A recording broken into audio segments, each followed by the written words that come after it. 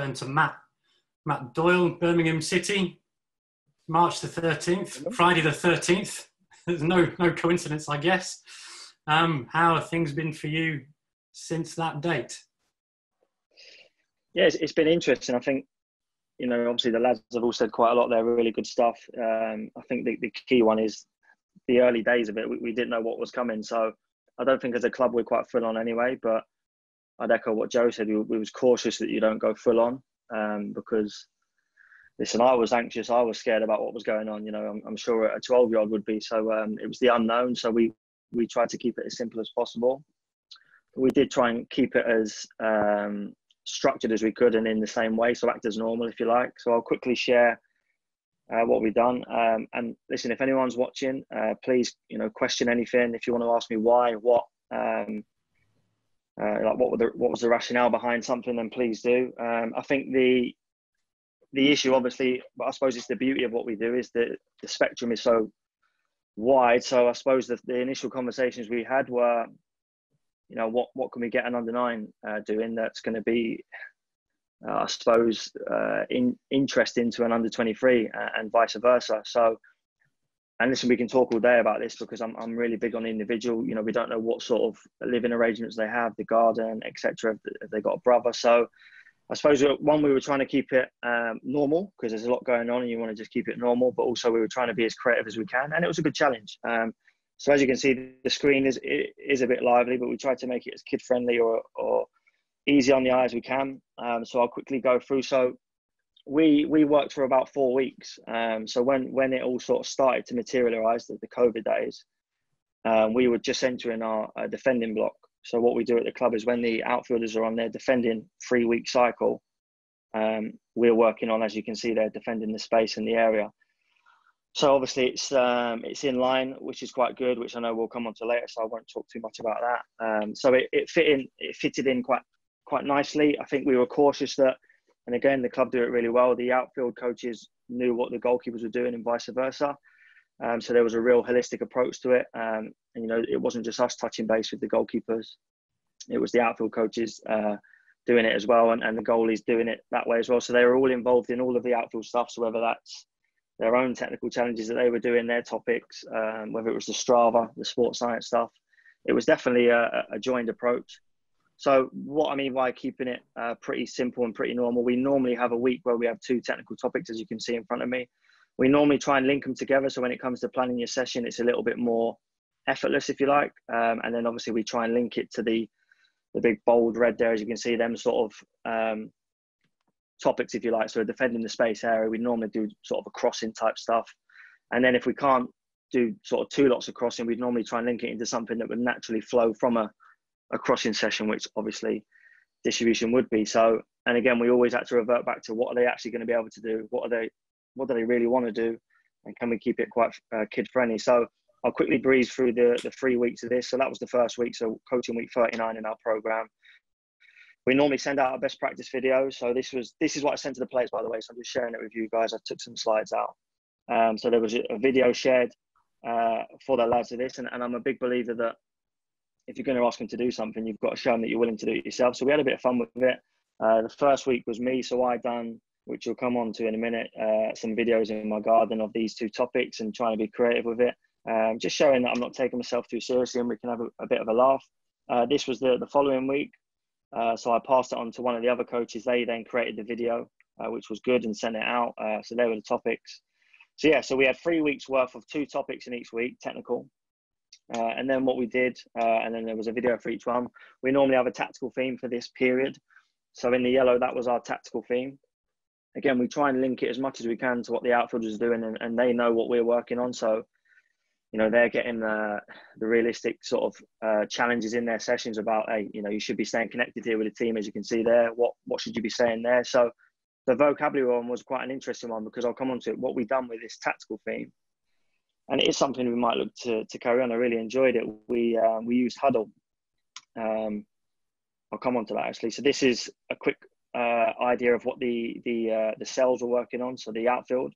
So we, we had a little look over this and how, how much can we really sort of prod them on this on the tactical side of it? Can we keep them engaged?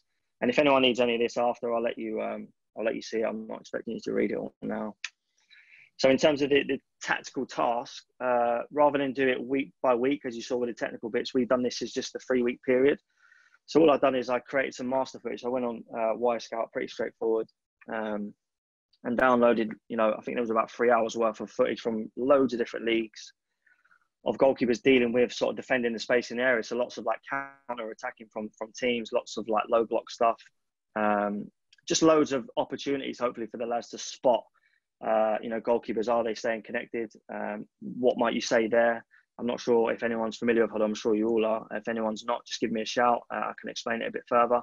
But the lads were, you know, I'm quite big on them trying to upskill themselves as well. So they were they were really creative on it. So they had to get stuff from the master footage, put it in their own playlist. You can annotate on it, so you can put circles on it. You can have text on it. Um, and we split we split all the goalies up. So we had I think there was it was about 22, 23, maybe a bit more. And we split them up between the three coaches, and we all looked after. So sort of we looked after them. Uh, we touched base with them, and we just logged on. And, and if you talk about you know society these days and, and kids these days, they're, they're always on their phone as we all know. So they're all they're all very used to sitting there typing stuff on their iPads on their phone. So we thought this was a quite a, an easy way to really connect with them, and it was good. They, they were really clever with it, um, and we just said, look, if you could do 10, 10 minutes a night, you might have a night where you don't do it. We're not they're not robots. We're not saying get on here every night. We're not checking in every night. We might give them a little nudge. Because listen, I'd, I'd like it if they're out in the garden or, or down the park or in their driveway with with, with their mum playing whatever. It could be just throwing a tennis ball. So we, we was quite laid back, as I said at the start. So this was really good, the, the Hudl bit. Um, so the technical tasks, we gave them a little bit of an example, but we are, you know, really big on the player led, led stuff. But because of the, the, the period we were in, we just thought, right, let's give them a little bit and let's show them as well. So, like I said, I done I done the first few clips, so you can quickly scour over that. Um, we just give them an idea of what you might do for a deep cross and what you might do for a counter attacking technique. So, I will quickly show um, the videos um, I will apologise now. They are in my back garden. I did use my daughter's Peppa Pig toy to try and kick a ball out, so I haven't. Hopefully, I haven't offended any Peppa Pig fans that are on the call. Uh, no one was hurt in the in the in the in the setup of these videos.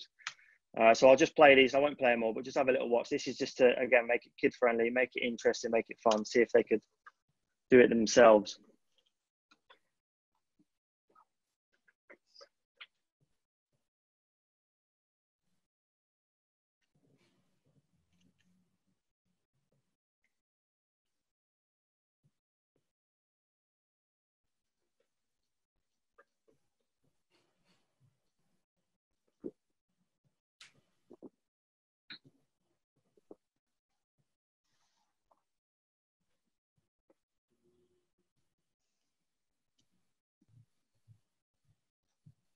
And what I'll do is, like I said, I won't bore you to death. I'll skip to the next one quickly. So that was the sort of a run inside volley. So we just give them a little bit of a flavour of what you might do. Um, so this was the next one.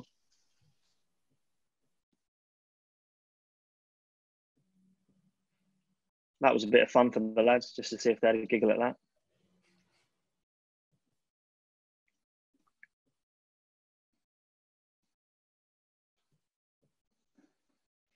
So again, really conscious of what they've got at home. Um, hopefully, they've all got some form of a wall. Although I'm, uh, listen, you're not going to get a realistic cue and a trigger off of a wall, but it was unprecedented times. We was just trying to keep it, keep some form of a program going.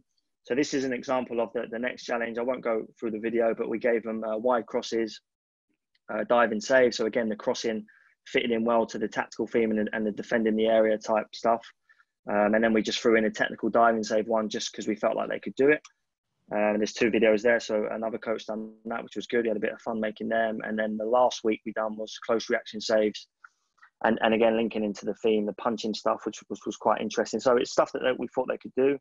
Um, I can assure everyone that's watching, my, my garden's looking a lot better than that from my uh, lockdown garden. Don't worry about that. Uh, and then what we what we tried to do, lastly, we thought, as I'm sure you all saw, the, the toilet roll challenges, and, and there was loads of stuff really creative going on we, we put them a challenge and we had them all in a WhatsApp group, obviously. So it was really good because you had like the under 10s chatting with the, you know, the under 18s and they were all sending their footage to each other and collating. If you talk about them upskilling themselves, they were all on their on their, their computers, sort of clipping videos, putting music on it. So they put together a few videos. This one was like a goalkeeping type toilet roll challenge, which was which was really good. Um, and we just asked them on the next week after that, Uh, so, so just to clarify, each week they had two technical challenges and this additional video, uh, and then every week they got a new technical two and the, and the, and the new video, the tactical one just run throughout. So this was like a synchronized one, which again was really good. And we just felt, and I'll come on to this later, we felt at week three, it was sort of dying down a bit, getting a bit monotonous, and they were sort of losing it a little bit. So we, we just didn't put it on them. We, you know, let them be kids and, and give them the, the week off, if you like, with this. Um, and these were the videos of what the lads said. And again, really brilliant, really uh, creative. We did give them some daily challenges. We didn't check up on these. So again, it was just to give them an idea of something to do.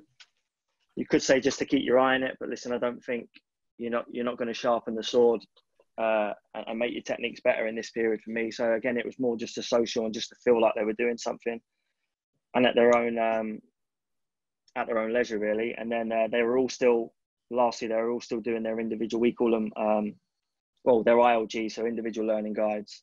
They've all got their own playlist on Hudl and they keep populating them of their footage. So they could go back through their game from previous weeks uh, with, in relation to their own challenges currently set, uh, and just just keep populating them really to not not come off the gas really as much as they can.